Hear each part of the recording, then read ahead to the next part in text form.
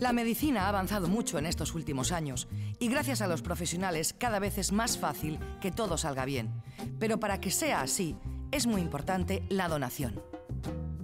Para ser donante de riñón, hoy en día cualquier persona puede ser donante. Cualquier persona, aunque no hubiese manifestado su voluntad de donar por ley, es donante. Sin embargo, los coordinadores de trasplante y los médicos siempre preguntan a los familiares cuál es la intención porque se respeta en todo momento la voluntad del paciente.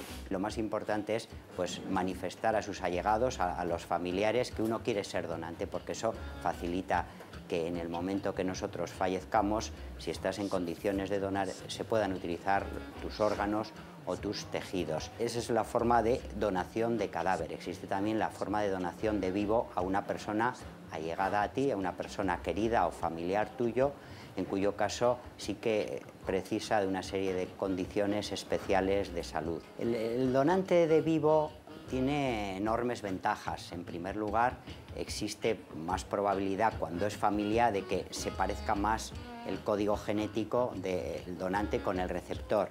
Aparte, el paciente que dona en vivo tiene un estado de salud extraordinario porque eso lo mimamos y lo miramos mucho, por lo tanto está en mejores condiciones y el tiempo que permanece el órgano desde que se extrae hasta que se realiza lo que es puramente el acto quirúrgico del trasplante es muy corto, por lo tanto las probabilidades de rechazo y de fracaso son infinitamente menores. En los últimos años, y de eso tenemos que congratularnos, pues la modificación del código de circulación, la aparición del carne por puntos, la mejora de las carreteras y de los mecanismos de, de, seguridad activas y pasivas de los coches han hecho a que, por suerte, tengamos menos donantes jóvenes.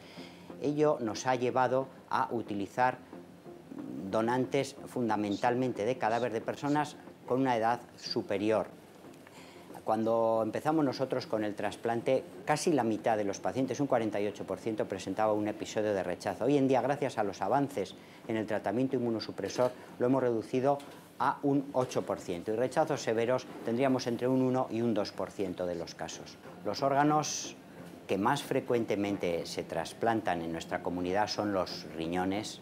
Se trasplantan eh, más de 150 al año, vamos a realizar, vamos a a ser uno de los centros, el centro de todo el Estado que más uh, órganos renales vamos a, implantar, seguido del trasplante hepático, que más o menos viene a mantenerse entre 60 y, y 70 trasplantes al año. El resto de trasplantes es eh, muy inferior, el trasplante cardíaco pulmonar es aproximadamente media docena. Creo que en lo que respecta a la donación en, la comunidad autónoma del País Vasco tenemos que sentirnos muy, muy orgullosos, por supuesto, no bajar la guardia. La tasa de donantes en, en Euskadi es extraordinaria, es de 40 donantes por millón de población y año. Hay año. Es más alta que la media española y la española es la más alta del mundo. Por lo tanto, estamos a la cabeza con esta tasa de donantes.